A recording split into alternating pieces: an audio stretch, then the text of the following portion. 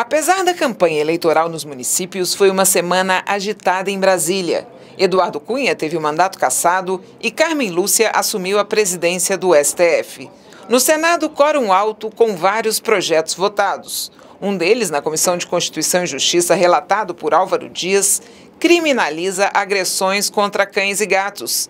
Também na CCJ foi aprovada a proposta que define uma cláusula de desempenho para os partidos, que só receberão recursos do fundo partidário se obtiverem, no mínimo, 3% dos votos válidos. Acho que teremos condições de paulatinamente chegar ao percentual de 5% como limite para que partidos políticos possam exercer mandatos no Poder Legislativo. Dessa forma, estaríamos certamente qualificando mais. Obviamente, estaríamos, estaríamos, senhor presidente, elevando o nível de eficiência do parlamento. E algumas mudanças, na opinião do senador, já foram registradas nas eleições deste ano, com as novas regras da Justiça Eleitoral. Com a redução dos gastos na campanha, nós estamos verificando um cenário diferente.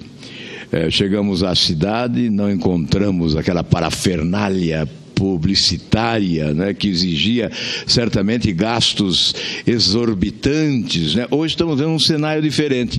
Eu estou otimista. Eu, ao contrário do que disse Vossa Excelência, acho que há uma redução significativa da corrupção eleitoral.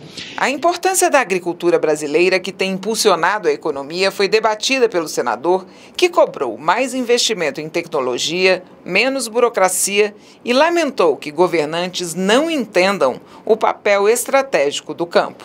Nós devemos enaltecer, parabenizar os agricultores brasileiros que, apesar das dificuldades, das fragilidades estruturais, plantaram, colheram e produziram esse superávit positivo da nossa balança comercial.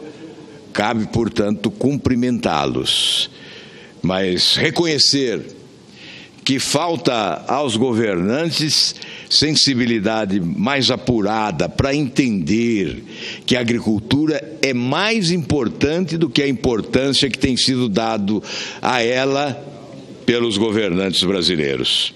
Álvaro Dias também voltou a cobrar uma solução para o crescimento avassalador da dívida pública, que chega a quase 4 trilhões de reais. Disse que os governantes não têm feito o dever de casa e que os gastos para pagar juros da dívida são 10 vezes maiores do que os recursos usados pelo governo em saúde e educação. O governo brasileiro gasta, neste ano de 2016, 1 trilhão 328 bilhões de reais no pagamento de juros e serviços. A metade do que o país arrecada vai para o pagamento de juros e serviços da dívida pública brasileira.